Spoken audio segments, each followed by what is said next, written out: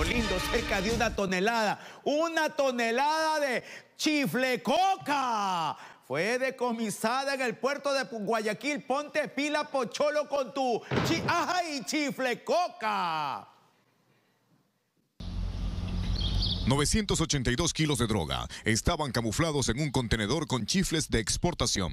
154 cajas del producto estaban contaminadas con cerca de mil paquetes de clorohidrato de cocaína, detectadas durante la operación Valentín 2 en los puertos de Guayaquil. Eh, se encontró a través de la modalidad de gancho ciego. De todas maneras, eh, la investigación que se está efectuando nos determinará eh, los presuntos responsables tanto si fueron en la parte externa o interna de los puertos.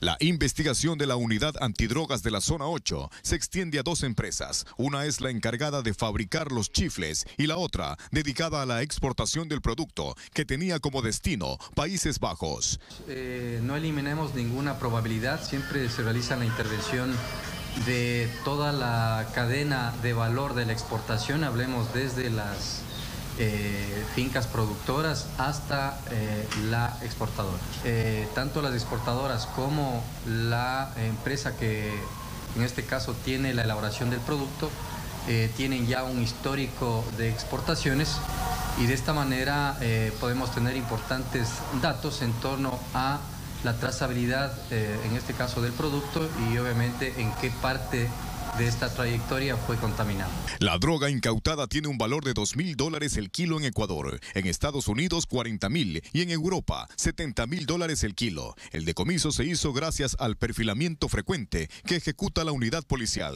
A través de la diferente información que nos entregan precisamente todas las eh, empresas que tienen que ver con la cadena de valor de la exportación.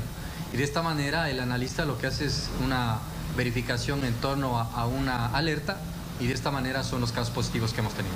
Con este cargamento ya suman 17 toneladas, 385 kilos de droga incautados a nivel nacional. 1.473 personas han sido detenidas por este negocio ilícito.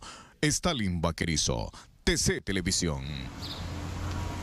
Pero tranquilo, usted sígale poniendo chiflecito al encebollado porque este es otro chifle. Este es chifle coca. Este ya está